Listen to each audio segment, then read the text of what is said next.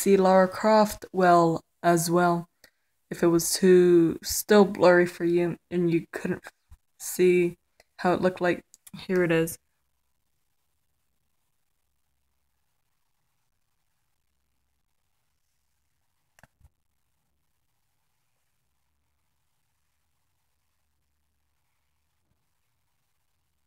Thank you for watching. Bye.